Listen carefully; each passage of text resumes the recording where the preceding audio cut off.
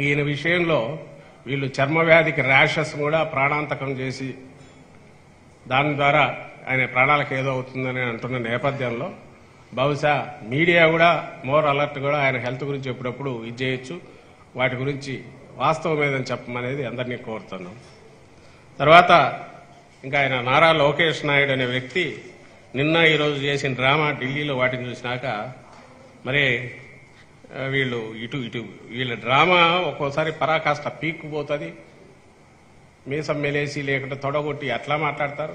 లేకుంటే బేలగా కిందన్నా పడతారు. నేను ఇంతకుముందు అన్నట్టు ఏది చేసినా ఇంకో పక్క ఎక్కడ కాళ్ళు పట్టుకోవాలో ఎక్కడ పైరవీయాలో చేస్తూనే ఉంటారనేది నిన్న ఢిల్లీ పోయిన తర్వాత లోపలే మాట్లాడింది ఏం మాట్లాడినారు ఒకటైతే బయటకు వచ్చి ఆయన చిట్ చాట్ పేరుతో ఈరోజు చూస్తే దిమ్మ తిరిగి ఉంటుందని నేను అనుకుంటున్నాను ఆయన ఏమంటాడు? ఈరోజు చిట్చాట్ అని ఈనాడులో దానికి తోడు జ్యోతులు ఆంధ్రజ్యోతులు అయితే ఇంకొంచెం వీళ్ళ వీళ్ళ భాష్యం కూడా. తెలంగాణ వాళ్ళందరూ వెళ్ళి మా టీడీపీ ఓట్ల వల్ల మీకు ఏమన్నా ఇదవుతుంది అనగానే జడుచుకొని అమిత్ షా పిలిచినారని.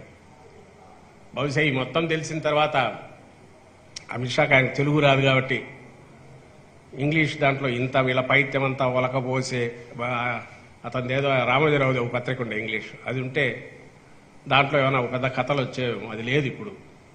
వాళ్ళ అదృష్టం. లేకపోతే దాంట్లో కూడా వచ్చేదేమో. అవి నాకు అమిత్ షాకు తెలుగు తెలియదు కాబట్టి ఏం రాసినారో తెలియకపోవచ్చు. లేదా వీళ్ళ డిబేట్స్లో వచ్చేది. లోకేష్ చెప్పాడంటూ ఆ చిట్ చాట్లో. ఆ పత్రికల్లో వచ్చింది చూస్తే నవాళ్ళు ఏడవాలని అర్థం కావట్లా?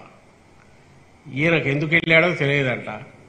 అమిత్ షా సెంటర్ అక్కడి నుంచి ఓ మెసేజ్ పంపిస్తే నీతో మాట్లాడాలనుకుంటున్నా అంటే ఈయన వెళ్ళాడంట. ఆయన పిలిపిస్తే ఈయన వెళ్ళాడంట. అక్కడికి వెళ్ళిన తర్వాత ఈయన ఏమేమి అనాలు జగన్మోహన్ రెడ్డి గారిని అనాలనుకుంటున్నాడో లేదా ఈ ప్రభుత్వాన్ని అనాలనుకుంటున్నాడో లేదా ప్రజల నుంచి సానుభూతిని కోరుకోవడానికి అవసరమైన ఇవేమేమి ఉంటాయో అదంతా అమిత్ షా నోట్లో పెట్టి ఆయన అన్నట్టు ఈయన చెప్పినట్టు ఆ పత్రికల్లో కనపడుతుంది. టీవీల్లో ఉన్నట్లేదు. నాకు తెలిసి అయితే టీవీలో వచ్చినట్లేదు. చిట్ చాట్ అన్నారు కాబట్టి ఓన్లీ పత్రికల్లో వచ్చినట్టుంది. ఉంటే అక్కడ కూడా తెలిసేదేమో.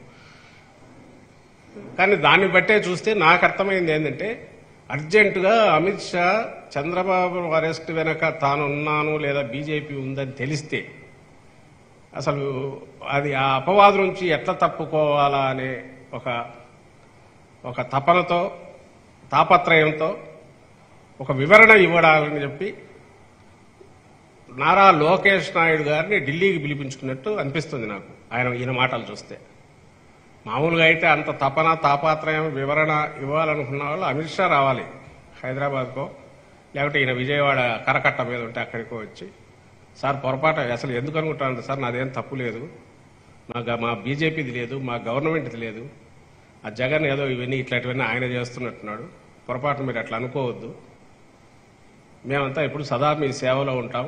మేము అట్లా ఆలోచనలు కూడా మాకు రావు కదా మీకు తెలియదా అని ఆయన చెప్పి ఉండాలి. కానీ ఇది రివర్స్ ఈయన పోయినాడు.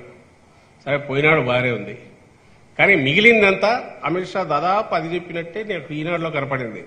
బహుశా మిత్రులకు జర్నలిస్ట్ మిత్రులు మిగిలిన చూస్తే కూడా అదే అనిపిస్తుంది. ప్రజలు కూడా అదే అనిపించింటుందని నేను అనుకుంటాను. ఆ విషయం మీద ఎక్కువ స్ట్రెస్ కనపడుతుంది. బీజేపీ లేదు బీజేపీ లేదు బీజేపీ లేదు అనేది ఒకటి. రెండవది నాయన హెల్త్ ఎట్లుంది అనేది రెండవది. పాపం ఈ వయసులో ఏంటంటే చాలా బాధపడిపోయారన్నమాట మూడవది నీ మీద ఆరోపణలు ఏది సిఐడి ఏం చేస్తుంది అది అని ఇన్నర్ రింగ్ రోడ్ దాని గురించి దాని గురించి అడిగాడట